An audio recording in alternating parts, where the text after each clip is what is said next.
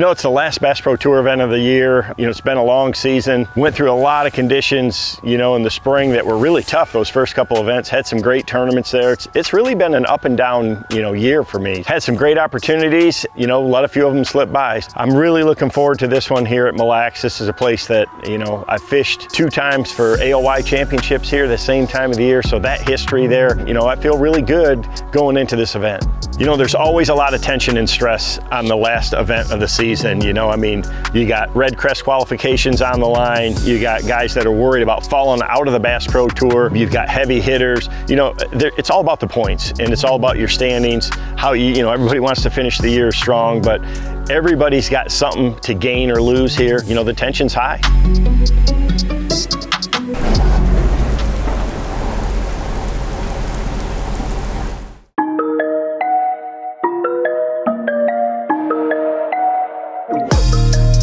Power everything up, let's roll. Last tournament of the season, and you know, I mean, everybody's fired up. It's a great fishery, but our forecast is brutal the next two days for practice. So, it's gonna blow super hard out of the south today, 20 with gusts to 40. Tomorrow it's gonna switch out of the north, basically do the same thing. So, practice is gonna be a real challenge.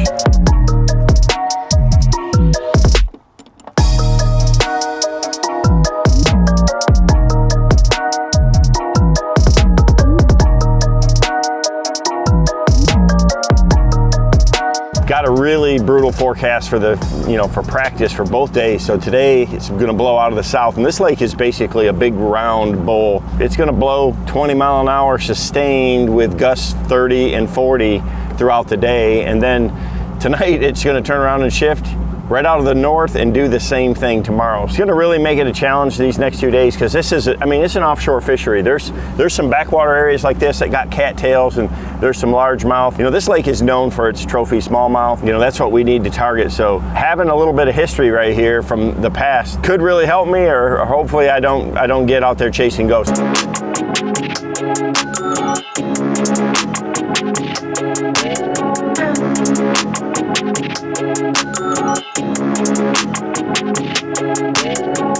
On this lake, there's a ton of offshore structure, but I'm really looking for these real, like you can see how rocky it is right there, right on that little, right on this little break. And it's kind of the inside edge of a long gut. There's, you know, a lot of little isolated boulders and things like that too. And it's not like Lake St. Clair where you can just drift a big flat and they're just randomly some here and there. I mean, if, they're on bait or something like that, it happens. But most often than not here, they're focused on this rock on the bottom and they're gonna be real specific on these, on these small spots. This is the one lake that I've done this lots and lots of time.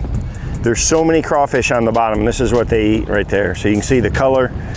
And that's really typically what I focus on crankbait wise. But when you're snagging, you know, crawfish, there's a lot of them down there. You know, I fished two AOY championships up here the same time of year. Uh, it's 2016, 2017. And the biggest thing on the Great Lakes, man, is, is the bottom doesn't change. And these fish, they relate to rocks and rocks formations, and it takes a lot of time to find them. The first one I hooked, I couldn't even do anything with. That's just a, these three something pounder though. But yeah, that, that 5XD, man, is such an efficient tool for covering these, you know, 10 to 15 foot flats like this.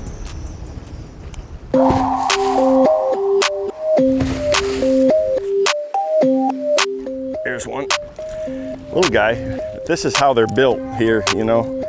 Look how fat that thing is for his size. A lot of smallmouth in here. They just grow real slow, so they've got a lot of trophy regulations here on all their different fish and but with uh, our catchway release you can still do it. But I mean, that one is not gonna be scoreable, but he's not far. He's chunky. Oh gosh, there was one just creamed it. Uh-oh, uh-oh. Right where they're supposed to be. Good one too. Just at about giving up on the old shallow deal. And then look at there, there's a dang five pounder up there in, in the dirt.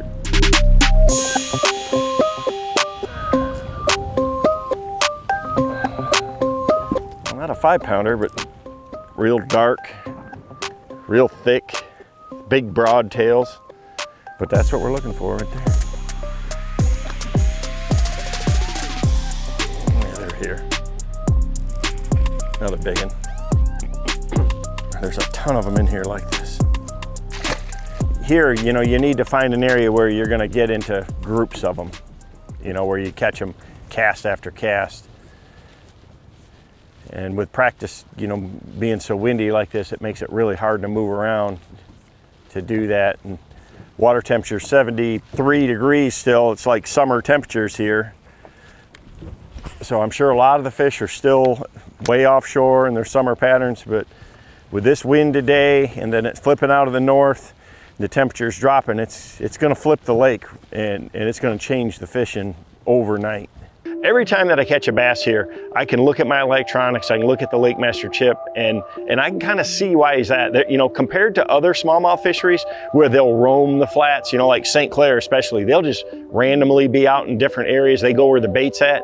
Here, it's all about the bottom composition and those, you know, those changes, those rock structures, and it's very specific. You've got to make the precise cast on those structures to get these fish to bite. You know, whether you're finesse fishing or you're power fishing, you can't catch them if if you're not throwing right in front of them. So that's what's very different about Mille Lacs.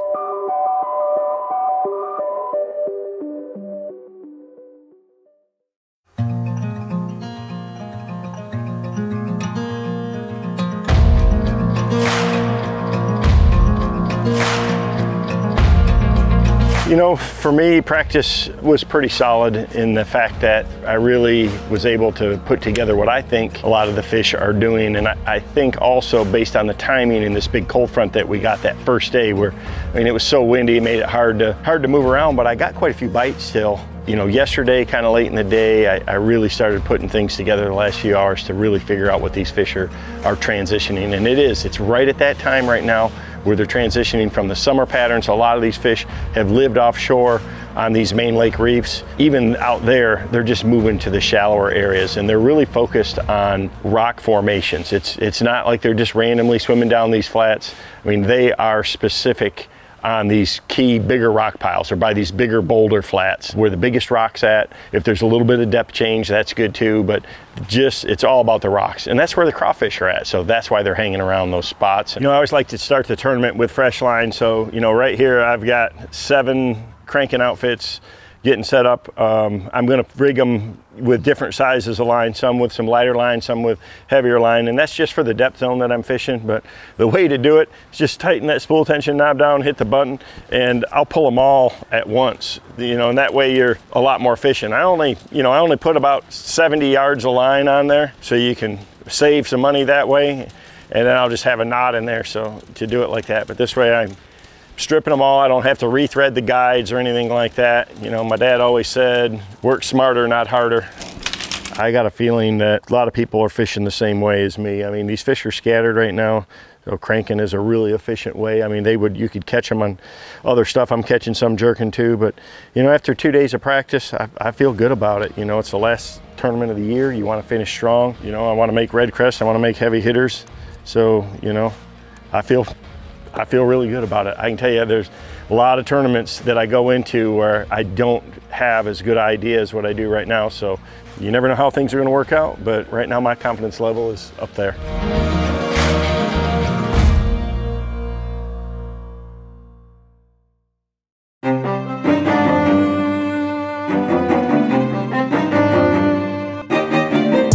So today is my first day on the water. It's Sunday morning. You know, I'm in Group B. Uh, after seeing what everybody did yesterday, it's about really about what I expected. You know, I've uh, got some history here. I've fished here in the past, and but I'm fired up. You know, after practice, uh, you know, this lake's got some big fish in it.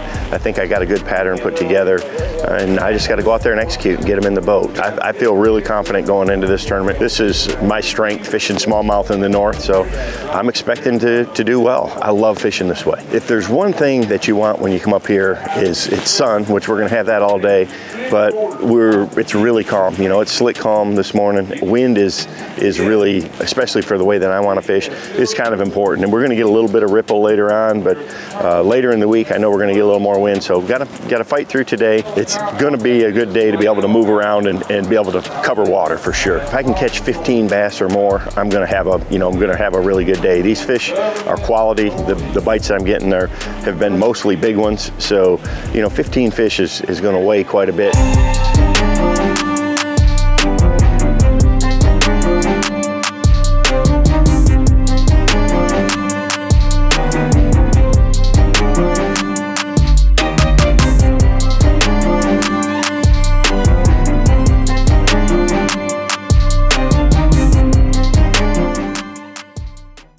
pretty solid start. We're, uh, you know, solidly in the cut. We just got to catch them again on Tuesday. And then the knockout round is going to be the real challenge. You know, that's going to be the day where you're going to really have to really have to catch them.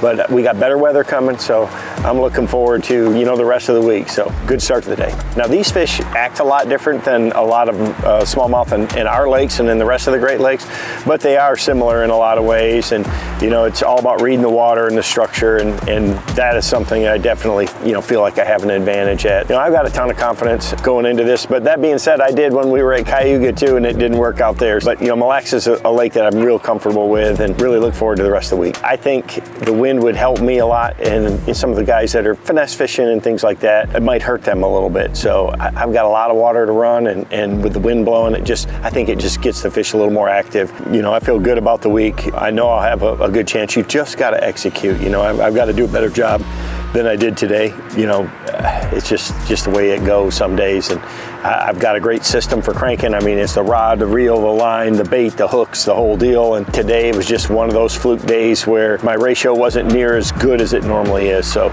we'll have a much better time the rest of the week, I'm sure.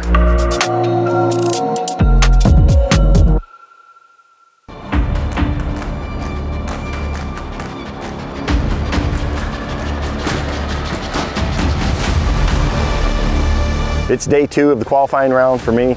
I had a, kind of an up and down day. I'm sitting in 11th, I should be happy, but I had a lot of missed opportunities. You know, the, with, the, with the calm conditions, those fish just did not really want to eat the bait real well later in the day. Started out great, but, but struggled later on. So I'm looking forward to having a really good day today man, I just want to move on, and make that knockout round. Tomorrow we're going to have a lot of wind. For my style, the way I'm fishing, you know, I've been cranking all week. That's what you need. Those are the conditions you really need. Makes it a little harder to move around. I've got a lot of water to cover, so hopefully we can uh, have a really good day today and move on to the knockout round. You know, if I can have a good day today and make it to the knockout round, you know, everything goes back to zero and you start all over again. So with the conditions that we have, I feel really good about my chances. And boy, if you can, you know, be in the top eight in that knockout round, then championship round, same deal again.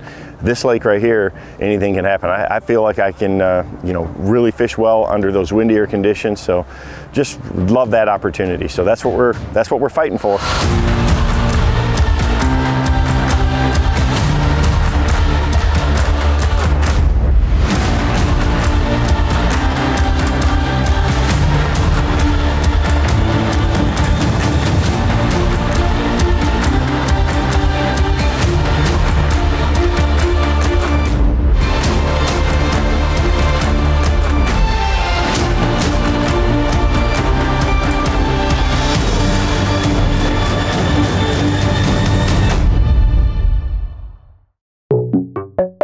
You know, I had two goals it, today is, you know, I really want to have a good tournament here and finish the Angler of the Year strong. And I was on the bubble for heavy hitters. So, you know, I, I, pretty quick, I caught a 5-1 and I said, yeah, that's, that'd be close to being good enough. But when I caught a 512, I'm like, I know that's, you know, that's, that's going to be a fish that's going to you know, surely lock me into heavy hitters. And, and obviously it's a 512, so, you know, it, it really adds a lot to the score tracker. And then I had a really comfortable lead. So now it's, it's really on to the knockout round and, and just, you know, making sure that we can get through that. If you can, if I can get through the knockout round of the championship round, anything can happen. Yeah, my confidence is real high. I know this lake pretty well and really being able to kind of call my shots as I go around. I've got a lot of areas to fish. Lot that I haven't fished yet. Uh, and that's something that gives me a ton of confidence is it's not like I'm just fishing one or two little spots and I've been pressuring them. You know, I'm, I'm fishing a lot of areas, covering a ton of water, got a lot of different fish and they move around a lot. Should bode well to be able to, to keep that momentum going.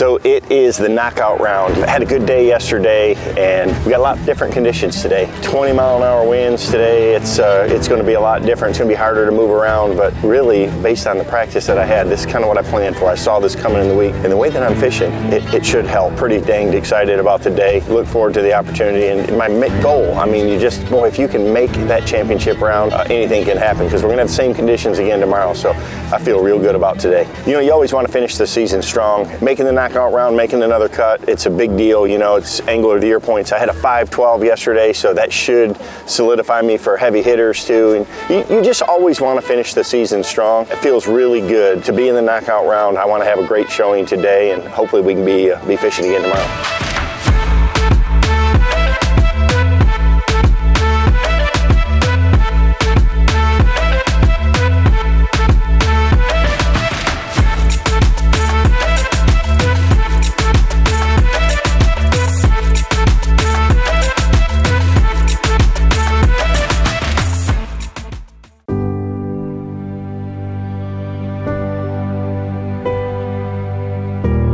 Today was a knockout round, and man, I have never gone into one of these probably as excited as I was. You know, I had a, a good pl game plan. I've been catching them good. We had some wind today, and uh, it just did not happen right off the bat. And it's so important to get off to a good start, especially here. There's a good early bite, and they just, with the wind changing the wind direction, I just could not make it happen at all. So, you know, fought and battled around to, to try to make it, you know, something go. And got on a few fish here and there, ended up just losing a lot of them today. They were just biting kind of weird. Overall, you know, real up and down season, some real highs and a couple of that I'd love to have back, but overall, you know, solid year. Qualified for Red Crest, heavy hitters. Can't complain too much, you know, so Kings of Bass is it's really fun to be a part of. You know, the crew works really hard out there on the road, so I hope you're enjoying all the footage, all the coverage that they're bringing to you, and we're gonna be doing it again next year, so really excited for a new season.